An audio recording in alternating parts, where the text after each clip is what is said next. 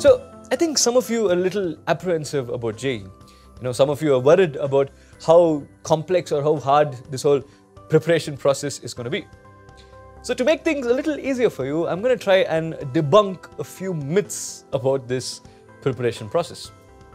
The first one is that, that there's, there's this common idea that JEE is only meant for the toppers, you know, for the geniuses and for the creme, creme of the creme. Uh, I completely disagree. I don't think that's true at all.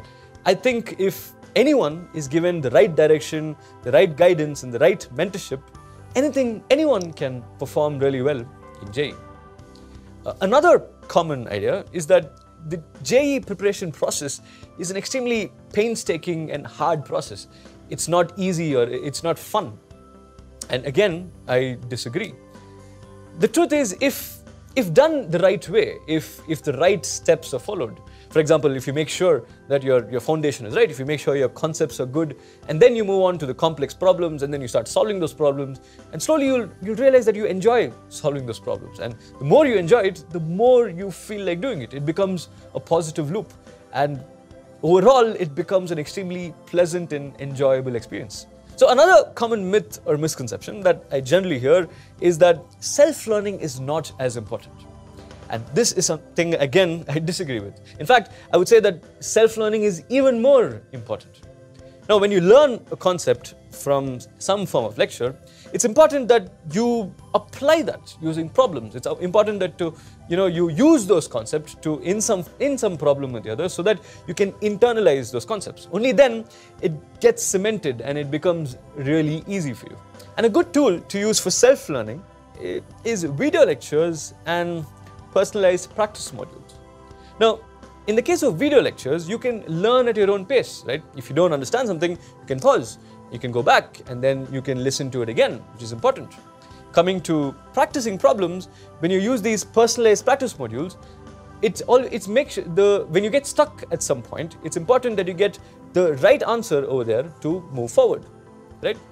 Also, taking a test at the right time is important. So you should take a test when you think you're ready, right? So all these will help. Another common idea that's generally thrown around is that JEE problems are super hard and super complex. That's not entirely true. The thing is, in JEE particularly, if your concepts are really strong, if you have a deep understanding of uh, all the concepts, then the problems that initially look hard actually become a lot easier. So sound foundation and sound concepts are extremely important. Another common idea is that the number of problems that you need to solve for JEE is infinite and endless. And again, I disagree. Now, I'm not saying that problems are not important. Problems are important. But what is even more important, as I said before, is concepts. Making sure your concepts are strong. Now, if that is set in place, then the number of problems that you need to solve reduces drastically you can very soon jump to the higher level problems. Another common thing that I hear is that people say that the board syllabus is not important and what's only important is your JEE syllabus. Uh, again, I would say that's not true because in most cases, the JEE syllabus and the board syllabus, they overlap a lot.